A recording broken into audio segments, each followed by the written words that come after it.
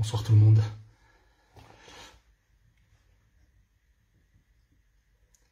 Bonsoir, bonsoir. Alors comme d'habitude, je vais attendre une minute ou deux avant de commencer.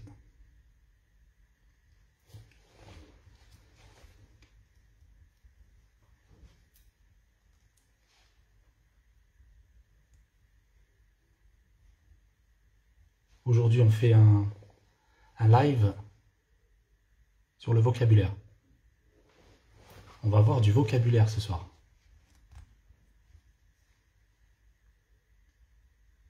Merci pour le premier like.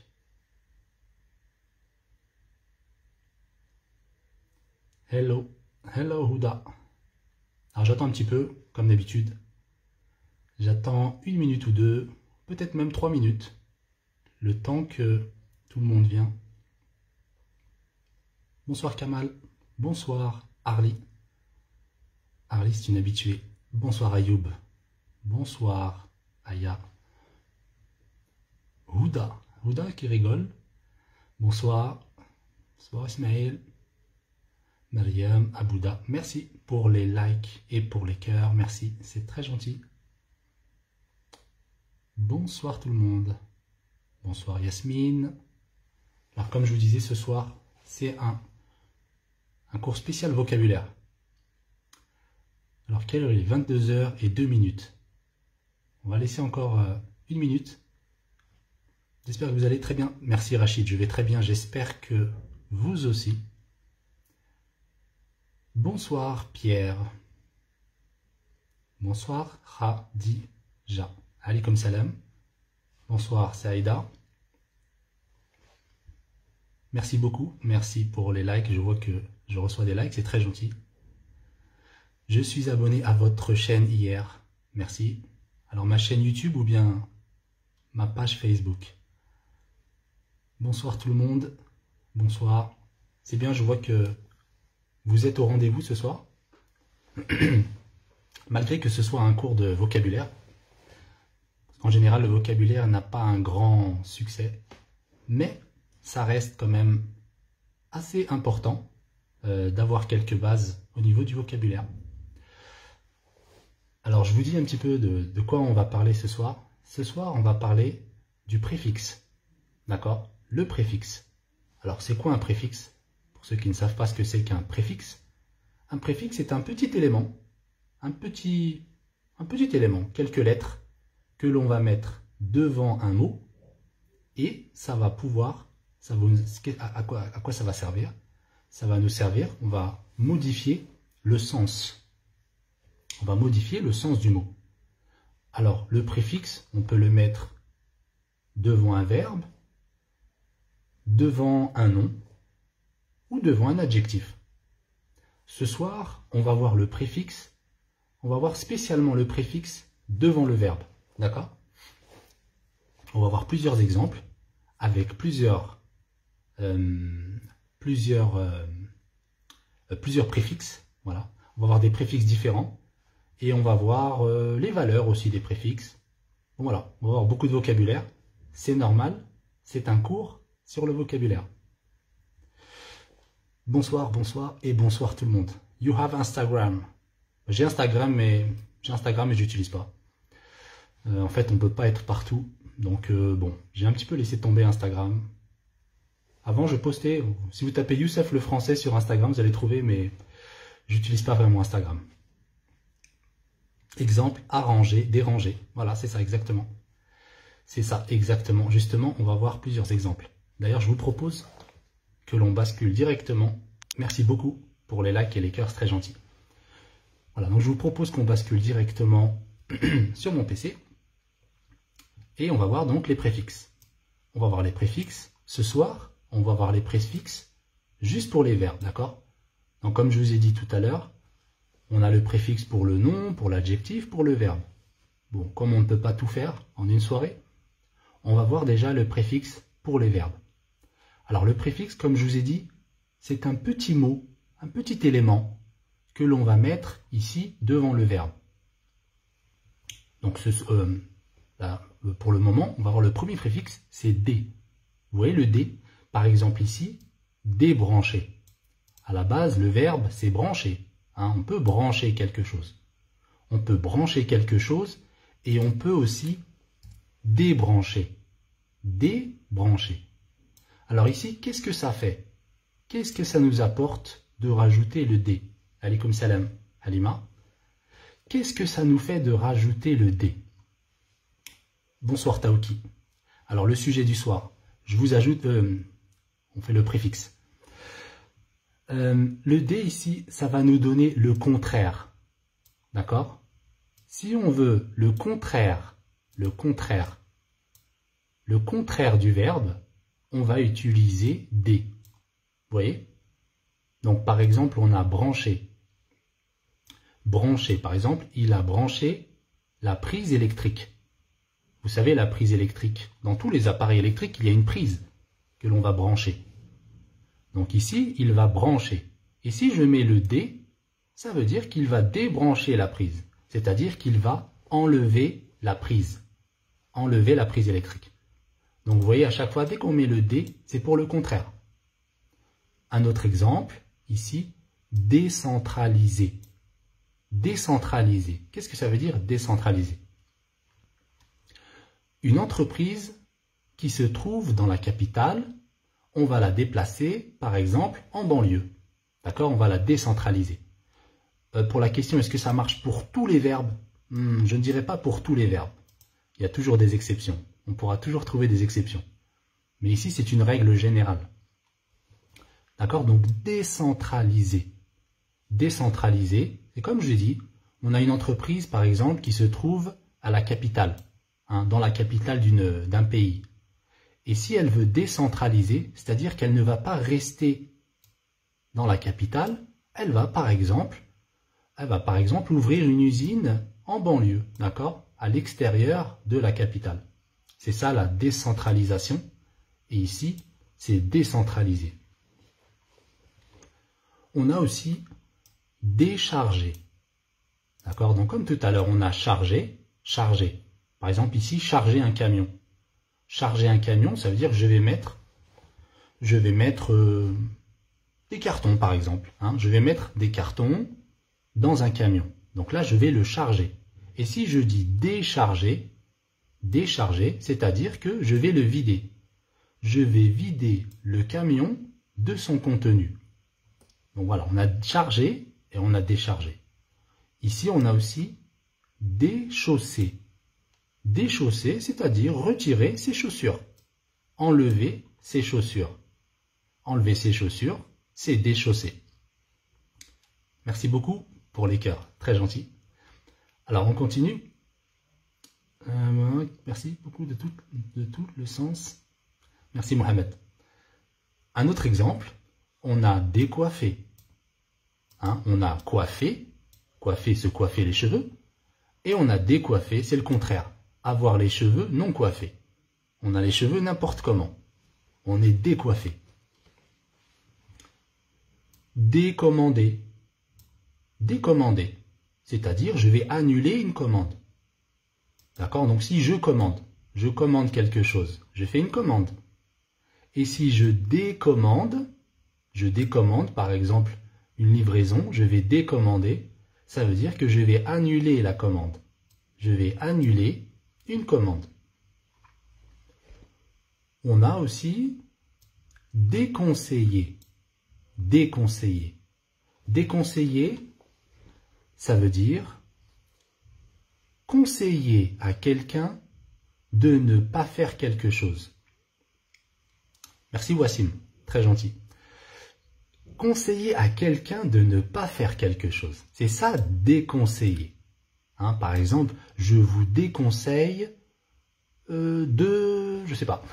Je vous déconseille de faire ça. Hein, je vous le déconseille. Donc, je conseille de ne pas le faire. Un autre exemple, on va voir ici déformer. Déformer. Ça veut dire quoi déformer? Déformer, ça veut dire que on va modifier la forme d'une chose. Un objet, par exemple, un objet, il a une certaine forme. Et eh bien là, je vais modifier la forme. Je vais changer la forme. Donc, je vais le déformer. On parle aussi de déformer des idées. D'accord. On parle aussi euh, déformer des idées. Hein, pour bien, euh, euh, par exemple, comment déformer une idée? Par exemple, on va dire que j'ai dit quelque chose, d'accord? J'ai dit quelque chose et la personne a déformé mes idées. Elle a déformé mes propos. Je dis quelque chose et la personne, elle dit autre chose. Elle dit oui, il a dit ça, il a dit ça, mais moi je n'ai pas dit ça comme ça. Je n'ai pas dit ça exactement comme ça. Donc là, elle a déformé mes propos, elle a déformé mes idées. On a aussi déplaire. Déplaire. Déplaire, c'est ne pas plaire. D'accord? C'est le contraire de plaire. Hein? Plaire, déplaire. C'est causer un désagrément. Hein? Euh, par exemple, quelqu'un qui me déplaît, quelqu'un que je n'aime pas. Hein? Je ne l'aime pas, il me déplaît. Euh, démaquiller, c'est ça aussi, pareil. Maquiller, démaquiller. Maquiller, c'est faire le maquillage. Démaquiller, c'est enlever le maquillage. Merci beaucoup pour les cœurs et les likes. Merci, c'est très gentil. Euh, on a vu déplaire, ok. Maintenant, on va voir déplier. Donc, déplier, c'est défaire. Défaire ce qui est plié. On a plié quelque chose, par exemple, un vêtement, Hein, j'ai plié mon pull, j'ai plié mon pull, et puis je peux aussi le déplier. Donc ça, c'était avec déplier. Alors, la question, euh, est-ce qu'on doit mémoriser les verbes par cœur? En fait, ce n'est pas une question de mémorisation. Euh, en fait, c'est une question de sens, vous voyez. Si par exemple, vous savez que plier, voilà, plier, ça veut dire on va plier quelque chose? Bon, ben on peut dire déplier. Après, c'est ça aussi le vocabulaire. Hein.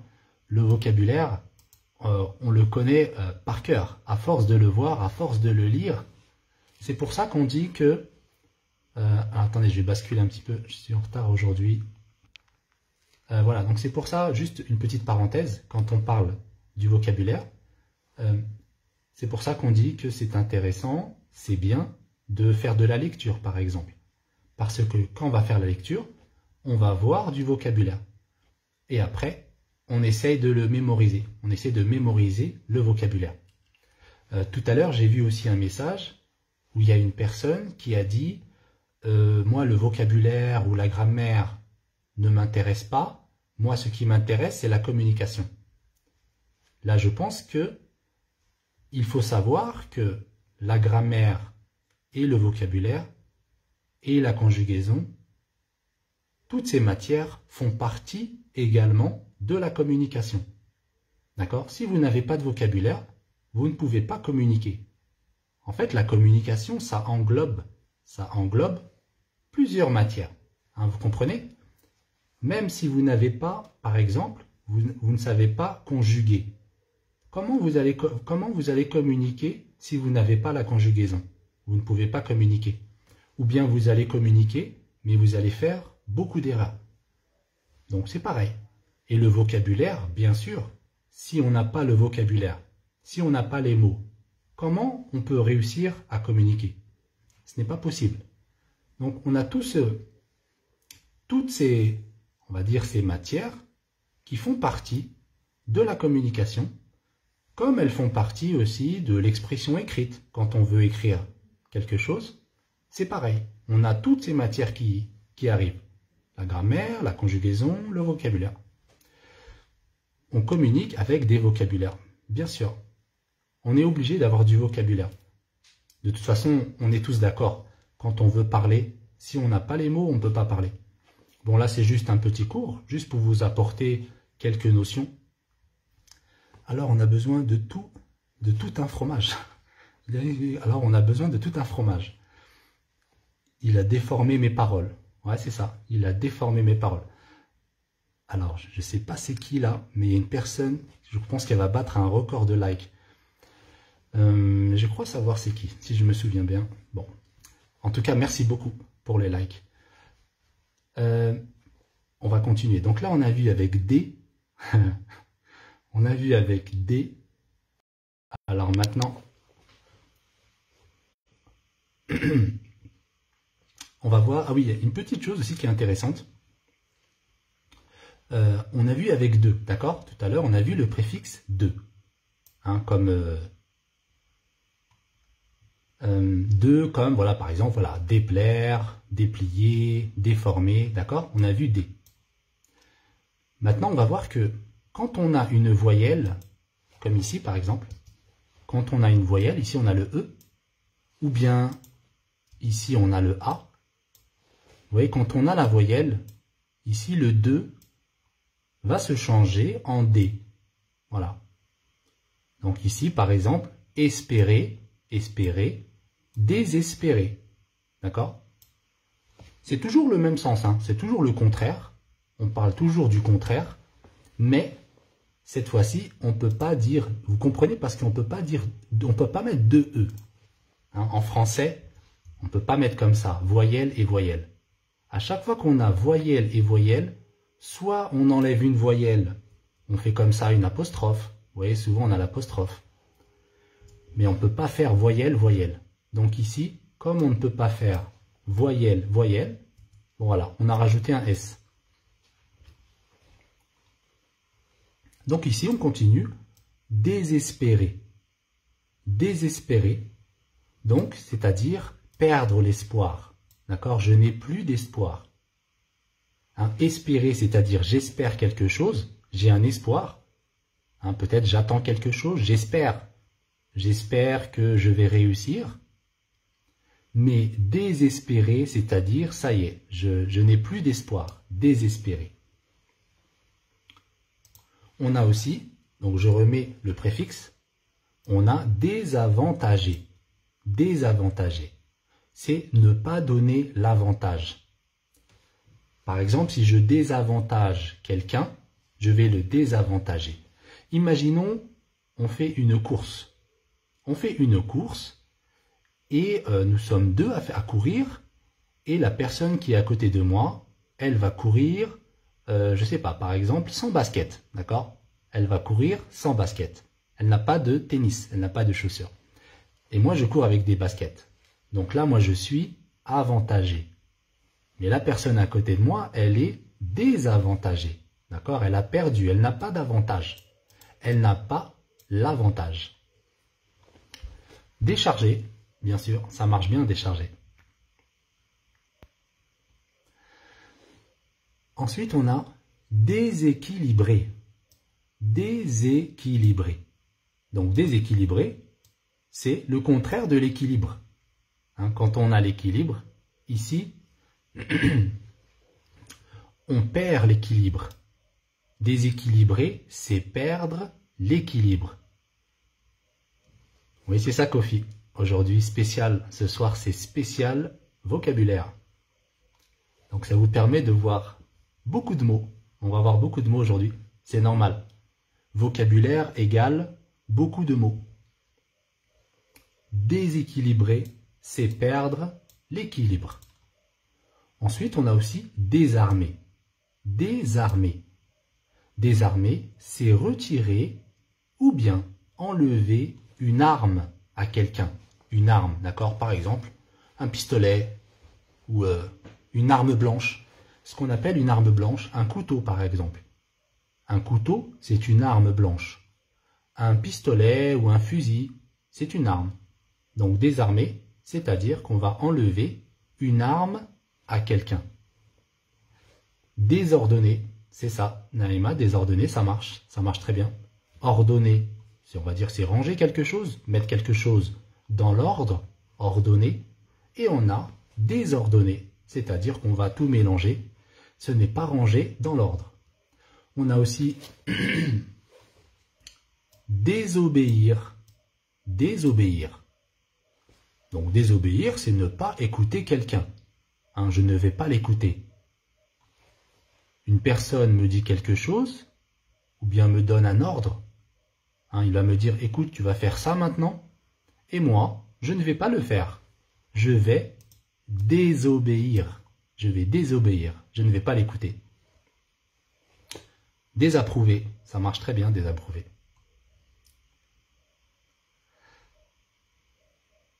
Euh, ok, alors on continue. Donc on avait vu, donc on a vu le contraire. Maintenant on va voir une, autre chose. Alors avant qu'on voie les exemples, avec certains verbes, le préfixe D, préfixe D, nous donne le contraire des verbes avec un préfixe en. D'accord? Ici, on va voir le contraire du verbe avec D et avec en. Un exemple. Ici, on a débarquer, débarquer, et ici, on a embarquer. Débarquer, embarquer. Débarquer, ça veut dire que je vais descendre d'un bateau. Descendre d'un bateau, c'est débarquer. Et embarquer, embarquer, c'est le contraire. Hein, on est toujours dans le contraire. Ici, on est dans le contraire. Monter dans un bateau. Débarquer, c'est descendre du bateau. Embarquer, c'est monter dans un bateau. On continue, on va voir débarrasser, embarrasser. Débarrasser, embarrasser. Alors, débarrasser, ça veut dire quoi débarrasser Débarrasser, ça veut dire enlever quelque chose. C'est ça, débarrasser. Par exemple, on dit souvent je vais débarrasser la table. Hein, par exemple, on est en train de manger, on fait un repas de famille, donc on a les assiettes, on a les verres, etc. On a les couverts. Et là, je vais débarrasser la table. C'est-à-dire que je vais prendre les assiettes, les verres, etc. Je vais les ramener à la cuisine. Donc là, je vais débarrasser. Ensuite, on a aussi ouais, embarrasser. Embarrasser, c'est pas le même sens. Hein. Bon, quelque part, c'est quand même le sens. Embarrasser, c'est être gêné par quelque chose. Hein, on a quand même quelque chose qui nous gêne. Débarrasser, on a dit qu'on enlève. On enlève quelque chose. Embarrasser, on est gêné par quelque chose. On a cette gêne. Je suis embarrassé. Ensuite, on a découragé et on a encouragé. Décourager, encourager. Donc décourager, ça veut dire quoi décourager?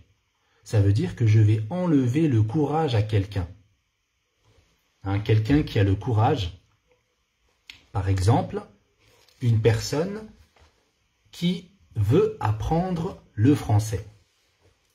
Si une personne veut apprendre le français, et moi je vais lui dire « Mais non, le français c'est beaucoup trop dur, tu n'arriveras jamais à apprendre cette langue. Ce n'est pas la peine. Ne te fatigue pas, c'est pas la peine. Et puis en plus, ça ne sert à rien d'apprendre cette langue. Vous voyez, donc là, je suis en train de vous décourager. Je suis en train d'enlever le courage. Je suis en train de vous décourager. Par contre, encourager, là, c'est le contraire. Là, c'est le contraire. C'est donner du courage à quelqu'un. Ici, je vais vous dire, par exemple, vas-y, continue à apprendre continue à pratiquer cette langue et tu vas voir que avec le temps, tu vas bien progresser et quand tu pourras t'exprimer en français, ça te donnera tellement de satisfaction que tu seras fier de toi et tu seras content d'avoir réussi à tenir et à persévérer, à persévérer dans ton travail. Si je dis ça, je vous donne du courage je vous encourage. On a aussi déménager, déménager, et on a emménager. Donc déménager, ça veut dire que je vais changer ou bien je vais quitter mon appartement. D'accord? Je suis dans un appartement, dans une maison, et je vais déménager, c'est-à-dire que je vais partir. Euh, et emménager, emménager, c'est le contraire. Là, je vais arriver dans un nouvel appartement. Je vais m'installer dans un nouvel appartement. Donc je vais emménager. Déménager, c'est quitter l'appartement. Emménager, c'est rentrer dans un nouvel appartement. On a aussi déterré et on a enterré. Déterrer, c'est-à-dire on va sortir quelque chose de la terre.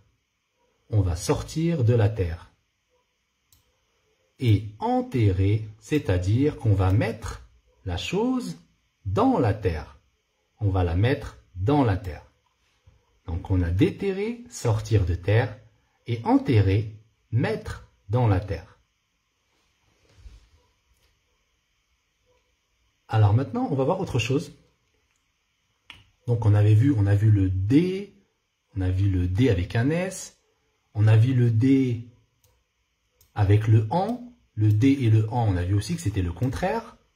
Hein, on a vu beaucoup de contraires ici, D et AN. Maintenant, on va voir le RE.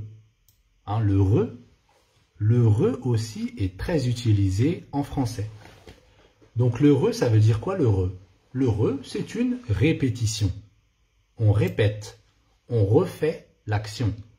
D'accord? On recommence. D'ailleurs, recommence. Je commence, je recommence. On le refait encore une fois.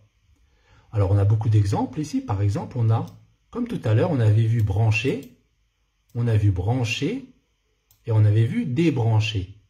Brancher, débrancher. On a aussi branché et rebranché. Rebrancher, ça veut dire que je l'ai déjà branché une fois.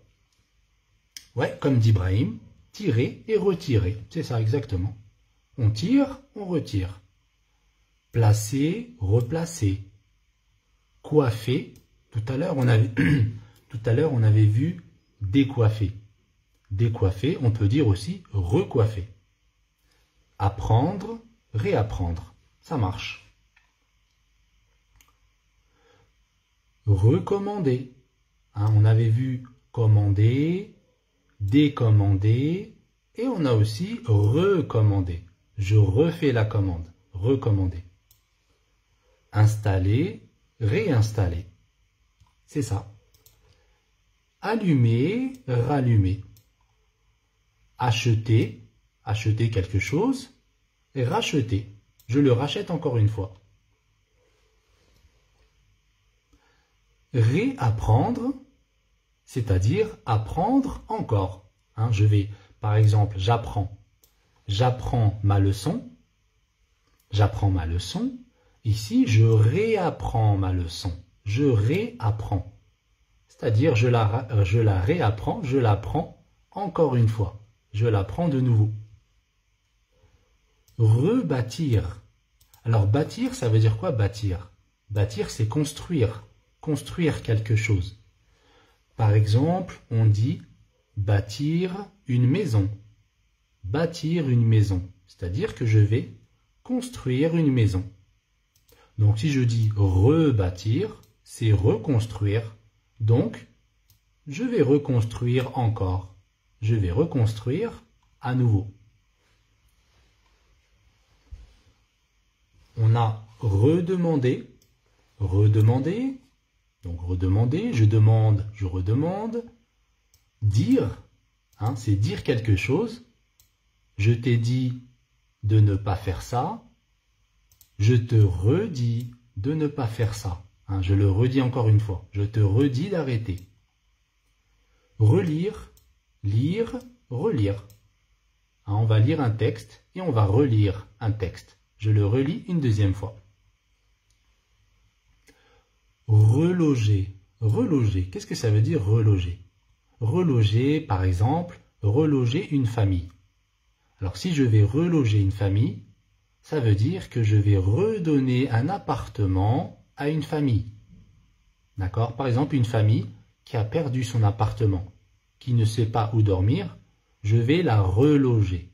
Je vais lui trouver un autre appartement pour qu'elle puisse se loger. réorganiser. Réorganiser. Donc on a une organisation, hein, on est organisé. On a une certaine organisation. Et là, maintenant, je vais réorganiser. D'accord? Je vais changer l'organisation. On réorganise. Organiser avec une autre manière. D'accord? On ne va pas organiser de la même manière. Retomber. Retomber. Retomber, c'est tomber encore une fois. D'accord? Il est tombé. Hein, par exemple, j'ai fait tomber mon verre.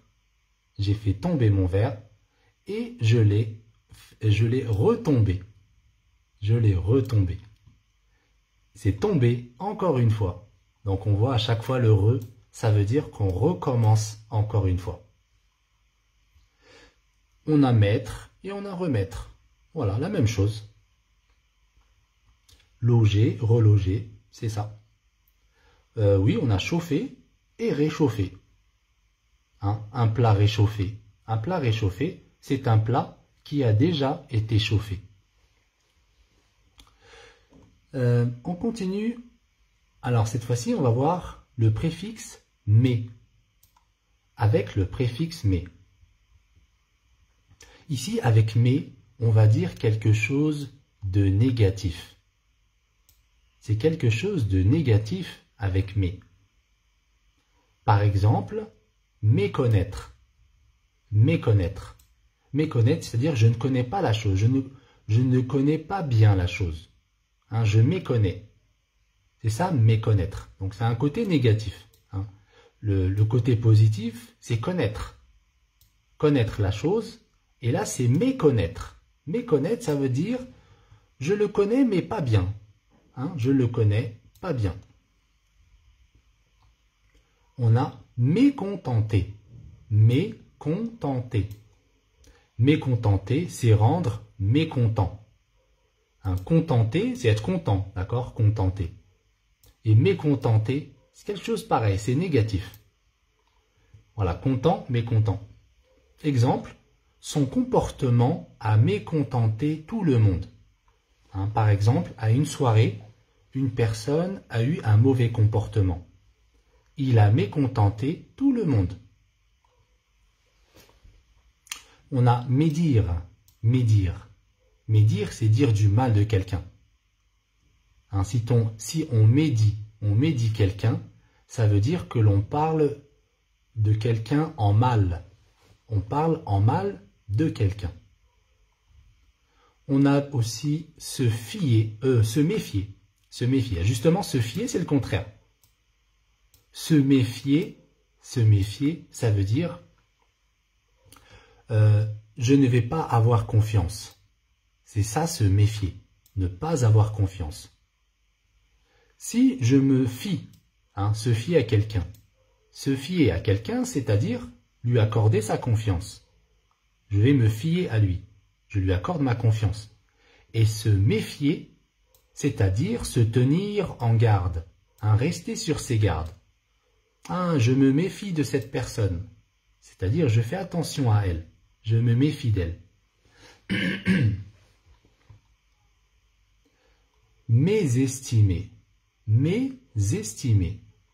Alors, mésestimer, c'est ne pas apprécier une personne à sa juste valeur. Hein, D'accord C'est mésestimer. Alors maintenant, on va voir quelques verbes. On va voir par exemple le verbe dire.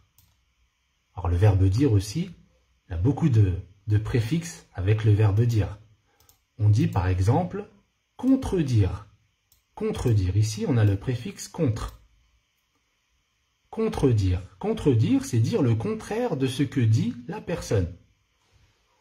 D'accord? Par exemple, dans un débat, une personne qui est en face de moi, elle s'exprime, elle parle d'un sujet, et moi, je vais dire le contraire de ce qu'elle dit. Je vais la contredire.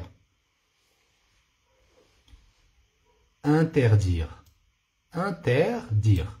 Ici, le préfixe est inter. Interdire, c'est empêcher de faire quelque chose. Hein, interdire. Quand on dit c'est interdit. Interdire, c'est empêcher de faire quelque chose. Médire. Médire, c'est dire du mal de quelqu'un. On a aussi prédire. Prédire, c'est quoi prédire? C'est annoncer une chose probable. Hein, on, fait, on va annoncer quelque chose. Je sens que ça va bien se passer. Donc ça, c'est une prédiction. Je peux le prédire. On a redire. Hein, on a vu tout à l'heure dire et redire. Dire une chose encore une fois. Donc on a vu le verbe dire. Maintenant, on va voir un peu le verbe mettre. Le verbe mettre aussi, c'est un verbe avec beaucoup de préfixes. Par exemple, admettre. admettre. Ici, le préfixe est ad, ad. Donc, admettre, c'est accepter quelque chose. Hein, on dit oui, je l'admets. J'admets ce que vous dites. J'accepte. Je l'admets. C'est-à-dire que j'accepte. Commettre. Commettre. Alors, commettre, ici, on a le préfixe comme. Commettre, c'est faire quelque chose de mauvais. Hein, on fait une mauvaise chose. Comme par exemple, on dit commettre un crime. Commettre un crime, c'est une chose très grave. Commettre un crime, un crime c'est par exemple un meurtre. D'accord? Si on tue quelqu'un, on a commis un crime. Bien sûr, c'est une mauvaise chose. On a permettre, permettre, permettre, ne pas empêcher. Hein, je te permets de prendre la parole. C'est-à-dire, je te donne la parole, je ne vais pas t'empêcher. C'est ça, permettre. On a aussi promettre. Promettre. Promettre, faire une promesse. Promettre. Promettre, c'est-à-dire s'engager sur quelque chose. Hein, je vais m'engager, je vais dire quelque chose. Par exemple, je te promets que je le ferai. Hein, je te promets, je donne ma parole. Je te promets que je le ferai. Remettre. Remettre, comme on a vu avec le re. Remettre, c'est refaire une action encore une fois, une nouvelle fois.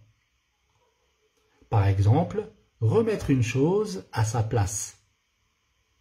Ou bien remettre une idée à l'esprit.